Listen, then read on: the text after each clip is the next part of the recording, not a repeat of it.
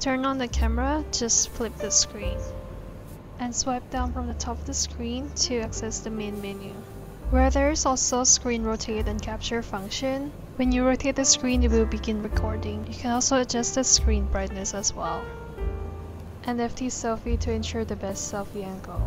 In the deep setting tab, you will find a lot of properties available for adjustment, including wireless connection, joystick speed, video compression, sound settings, name management, and many others.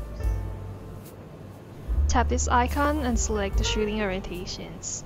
You can choose auto rotation, landscape, or portrait. Tap this icon to adjust the gimbal flowing speed, and this icon to select the gimbal. The follow mode is suitable for selfie videos and vlogs, which is my default mode.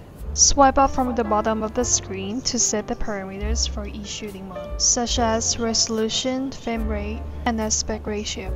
Swipe left from the right edge of the screen to enter the image and audio settings, and you can tap Pro for advanced adjustments. Swipe right from the left edge of the screen to view the last taken footage, and swipe right again to either mark as favorite or delete it. For the 5D joystick, it can be used as a shortcut as well. But the main function of the 5D joystick is for controlling the camera movement and also the zoom.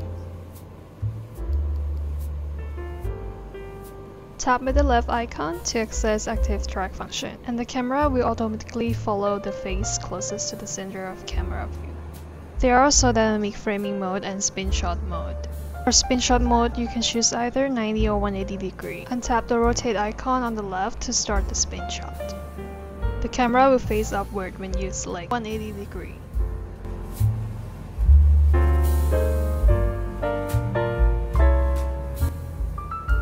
Creator Combo Set also comes with wide angle lens, which will expand the field view to 180 degree.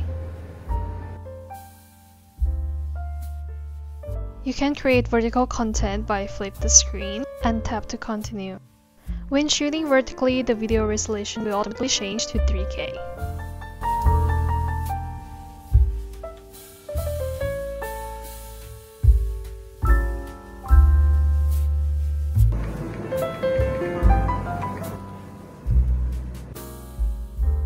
So right now the audio is from the camera. This is so cute. Hello. Going to do a test vlog because today I'm going to get my hair done, get things, new things here. It's, it's kind of long now and my hair is a mess.